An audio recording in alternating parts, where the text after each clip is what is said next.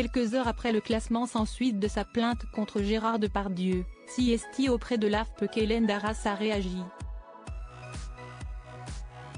L'actrice a déclaré que cette décision n'est pas une surprise. La réputation de Gérard Depardieu n'est plus ce qu'elle était. Depuis le 7 décembre dernier, date d'un numéro de complément d'enquête consacré aux accusations de violences sexuelles visant l'acteur, les témoignages à son encontre ne cessent de aînés.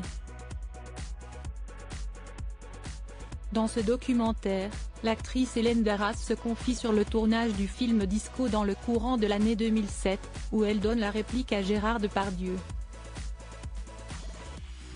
Il me regarde comme si j'étais un morceau de viande.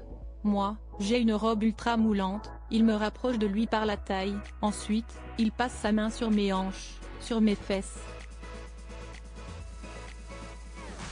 Et dans l'oreille il me demande de monter dans sa loge, a déclaré celle qui a déposé une plainte pour agression sexuelle.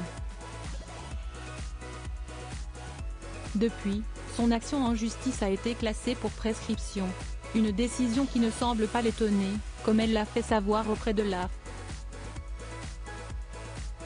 Hélène Darras sur Gérard Depardieu, tout le monde le voit et personne ne dit rien le classement pour prescription n'est pas une surprise pour moi. Si j'ai porté plainte, si esti parce que je ne pouvais plus me taire, a déclaré Hélène Darras auprès de l'AF, d'après les informations de BFM Télévision. Désormais, si mon témoignage permet à la justice d'avancer sur les plaintes non prescrites, ou s'il peut libérer la parole d'autres victimes, voire relancer le débat sur la prescription, tout cela n'aura pas été vain, a-t-elle ajouté, précisant tout de même que tout le monde le voit et personne ne dit rien.